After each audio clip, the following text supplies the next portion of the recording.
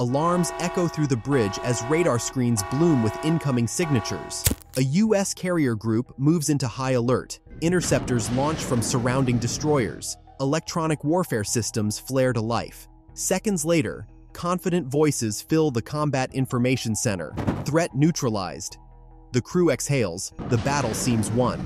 Then, a new trace flashes across secondary radar, a low, fast anomaly moving at impossible speed. A whisper of disbelief quiets the room. A Zircon missile is inbound. How did America's most advanced shield miss it? Russia's 3M22 Zircon represents a radical leap in weapons design. First test fired publicly in 2002, it travels at speeds nearing Mach 9, over 6,800 miles per hour. At those velocities, traditional intercept windows collapse to mere heartbeats. The missile's flight path is unpredictable, weaving through the atmosphere before diving at low altitude toward its target. During its journey, it generates so much heat that a plasma field forms around its body, obscuring it from radar and infrared sensors.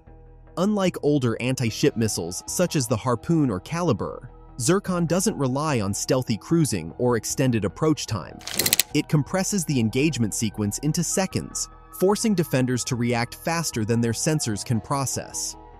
For carrier groups that rely on multi-layered defenses built to counter slower subsonic or even supersonic threats, Zircon changes everything. It doesn't need to strike deep, it just needs to reach striking range before detection. Behind its creation lies a strategic purpose. Moscow viewed carriers as the ultimate expression of American naval might, able to project power thousands of miles from home. The Zircon was intended to challenge that concept directly creating a weapon so swift, so evasive, that it could bypass even the most intricate defensive grid. Each test launch wasn't merely an engineering milestone, it was a message.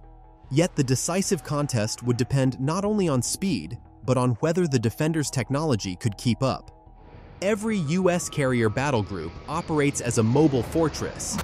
At its core sits the aircraft carrier, massive, valuable, and vulnerable. Surrounding it are escorts, Ticonderoga-class cruisers, and Arleigh Burke-class destroyers, all networked through the Aegis combat system. Surveillance aircraft orbit high above, while satellites keep eyes on distant horizons. This network forms a living web designed to detect, track, and destroy any threat long before it nears the fleet. The first layer stands hundreds of miles out.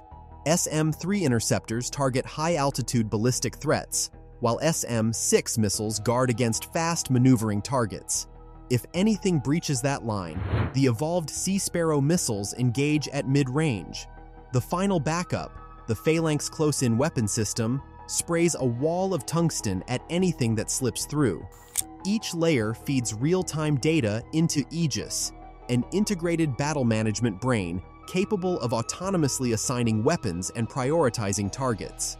After decades of refinement and thousands of live fire tests, this system gave the US Navy unmatched confidence. It was designed to fight multiple simultaneous threats, planes, drones, cruise missiles, and win.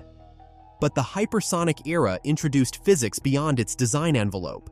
In a theoretical engagement, the scenario unfolds smoothly at first. Early warning satellites catch a distant launch flash, Aegis correlates the signal and assigns interceptors. Within seconds, SM-6 missiles streak skyward. Monitors show successful engagement probabilities. Commanders issue confirmations. Threat neutralized. But as the intercept radar resets for another scan, something unusual appears. The returning wave is garbled, fragmented. Operators think it's atmospheric interference, or perhaps clutter from the destroyed target. Moments later, a second radar feed, operating on a different frequency, picks up a new return.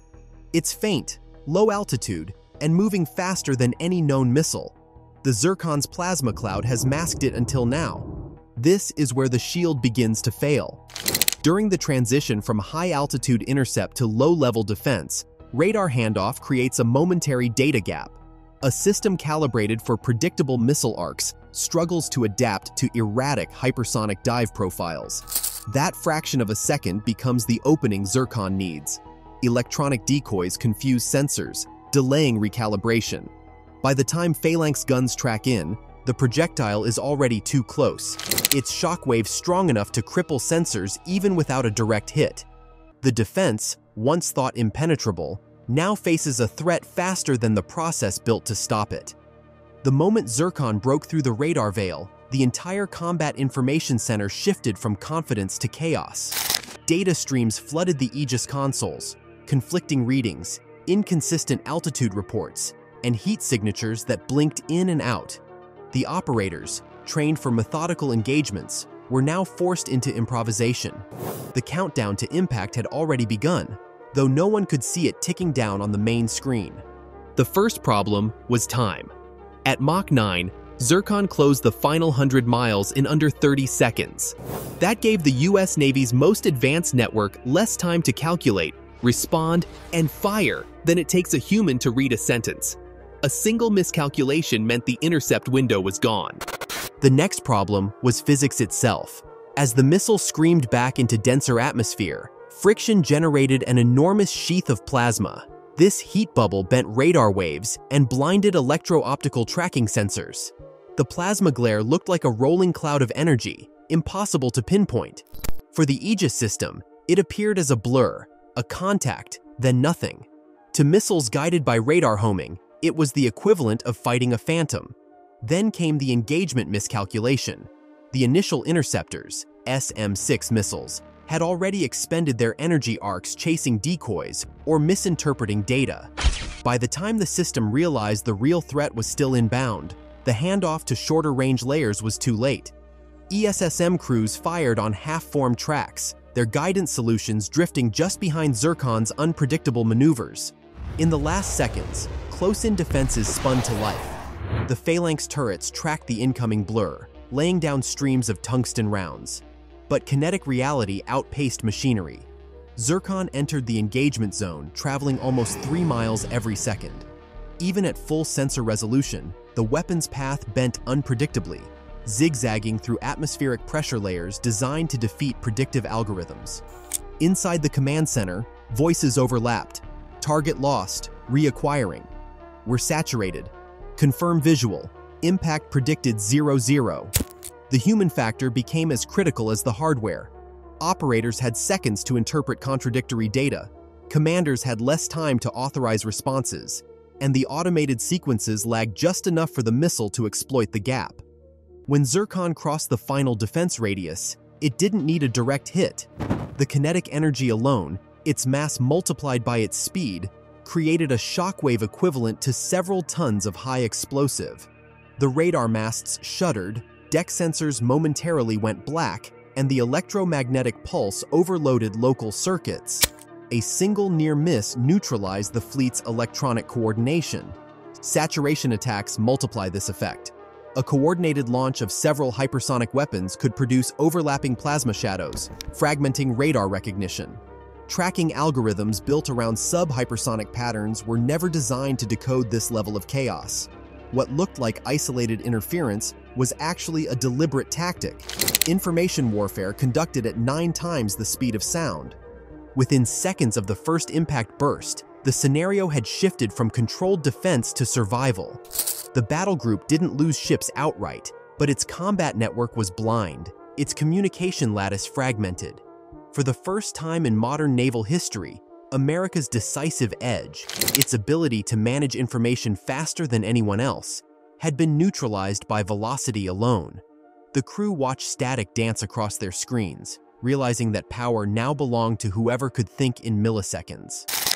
The hypothetical engagement forced naval strategists to confront a new truth. Speed had broken their doctrine.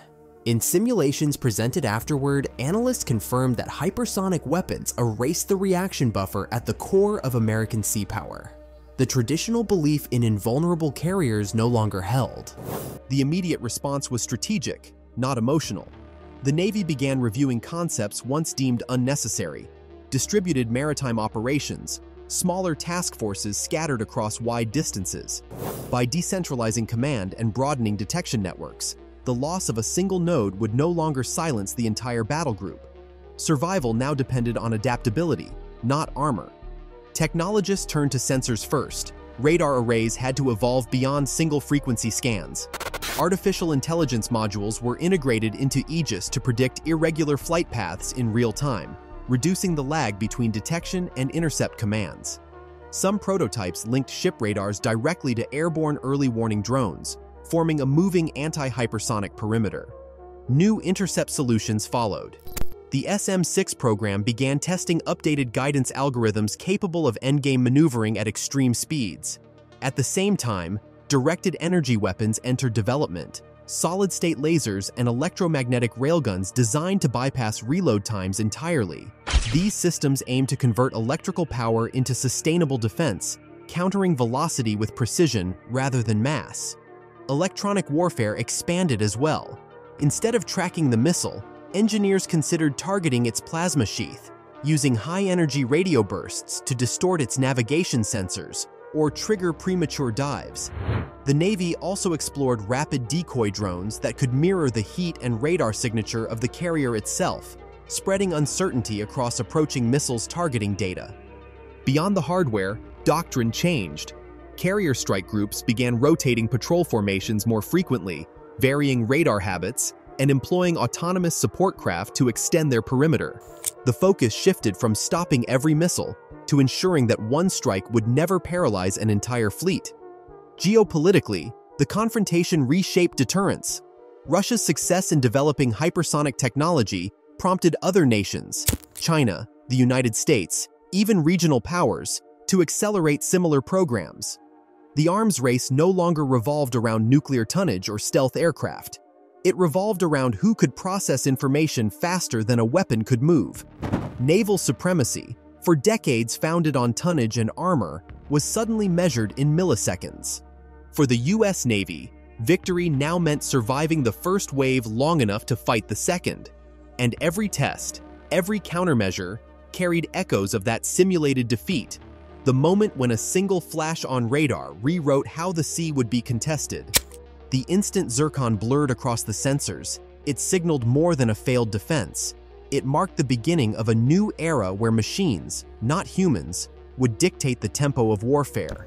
The illusion of total protection vanished in under a minute. From that day, the Navy's doctrine evolved around one immutable principle. Nothing outruns perception. Every early success story reminds strategists of that simulated victory call celebrated seconds before data screens went dark. It's a warning encoded into training programs and ship design. Dominance isn't permanent, and confidence evaporates at Mach 9. The sea still belongs to power, but power now depends on who sees first, thinks faster, and reacts within slivers of time once invisible to human command. If you want to see how the United States is adapting to this hypersonic era, with next-generation interceptors, stealth carriers, and AI-driven shields, watch our next feature. Subscribe to Military Air for more untold stories shaping the future of defense.